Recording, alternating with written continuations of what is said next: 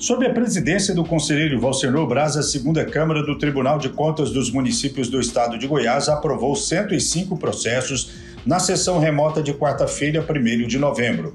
Participaram da reunião os conselheiros Humberto Aidar e Fabrício Mota, o conselheiro substituto Flávio Luna, o procurador de contas Regis Gonçalves Leite. O superintendente de secretaria Gustavo Melo Parreira fez a leitura dos processos foram aprovados balancetes, aposentadorias, pensões e editais de processos seletivos da pauta número 165.